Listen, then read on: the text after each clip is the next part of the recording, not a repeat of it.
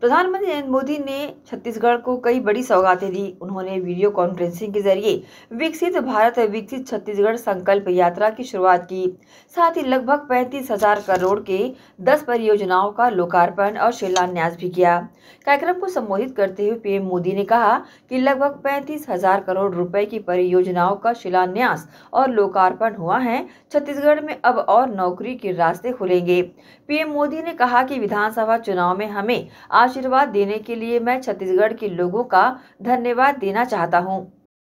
और भारी संख्या में इस देश के भविष्य कर्णधार मेरे प्यारे स्कूली भाई और बहनों, मैं सबसे पहले आप सब लोगों से आग्रह करूँगा कि करतल ध्वनि से हमारे यशस्वी प्रधानमंत्री जी का स्वागत करें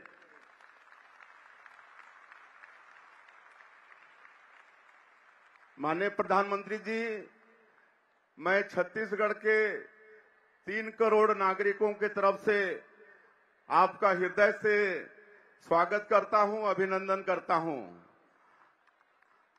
आज विकसित भारत, विकसित छत्तीसगढ़ एक कार्यक्रम के तहत आप छत्तीसगढ़ को चौतीस हज़ार चार सौ सत्ताईस करोड़ रुपए का दस विकास परियोजनाओं को हम लोगों को सौगात दे रहे हैं। इसलिए मैं पुनः पूरे छत्तीसगढ़ की जनता की तरफ़ से आपका आभार व्यक्त करता हूँ। हम छत्तीसगढ़ वासियों के ऊपर आपका हमेशा स्नेह रहता है, आपका हमेशा अनुग्रह हम छत्तीसगढ़ वासियों के ऊपर में रहता है। छत्तीसगढ़ की जनता ने आपकी गारंटी पर विश्वास किया और पिछले विधानसभा के चुनाव में ऐतिहासिक विजय भारतीय जनता पार्टी को दिलाई। आदरणीय प्रधानमंत्री जी, आपके गारंटी के कामों को हम सब लोग पूरा करने के लिए अग्रसर हुए हैं। सरकार बनते ही आपके मार्गदर्शन में 18 लाख परिवारों को प्रधानमंत्री आवास की स्वीकृति का निर्णय ले लिए हैं। दो साल का जो धान का बकाया बोनस था 12 लाख से ज़्यादा किसानों का, ऐसे सैंतीस करोड़ रुपया उनके खातों में भेजने का काम किए हैं। 21 क्विंटल प्रति एकड़ धान खरीदे हैं और इस साल बम्फर धान की खरीदी हुई है। एक लाख, जिसमें 333 सड़कों का निर्माण होगा। और प्रधानमंत्री जनमन योजना में ऐसे बीपीटी लोगों के तीन बसा बसाहटों तक रोड पहुंचेगा। माननीय प्रधानमंत्री जी, मैं आपका भारत सरकार का लक्ष्य सोलर पावर से देश के लोगों को बिजली देने के साथ ही उनका बिजली बिल ज़ीरो करने का भी है। मोदी हर घर को सूर्य घर बनाना चाहता है। मोदी हर परिवार को घर में बिजली बनाकर, वही बिजली बेचकर कमाई का एक और साधन देना चाहता है। इसी उद्देश्य के साथ हमने पीएम सूर्य घर मुफ़्त बिजली योजना शुरू की है। अभी ये योजना एक करोड़ परिवारों के लिए है।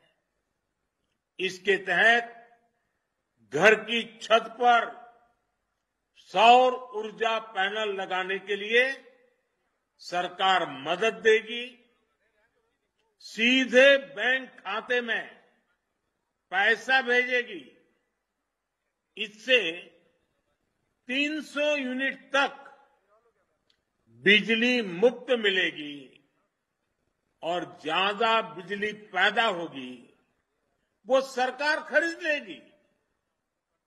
इससे परिवारों को हर वर्ष हज़ारों रुपये की कमाई होगी।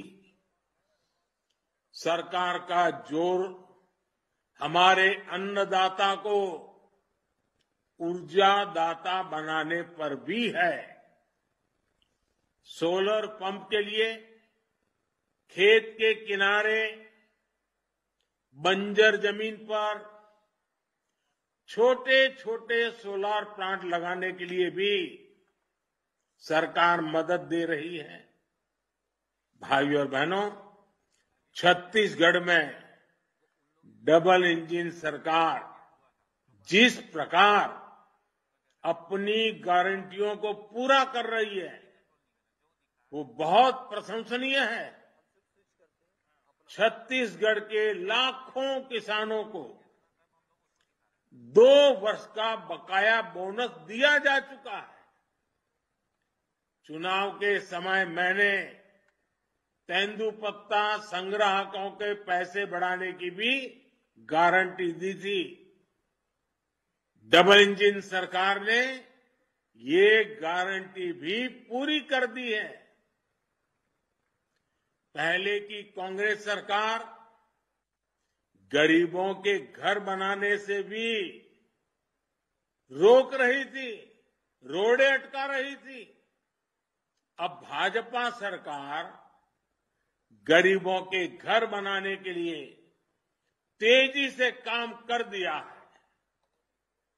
हर घर जल की योजना, हर घर जल, इस योजना को भी सरकार अब तेज़ी से आगे बढ़ा रही है।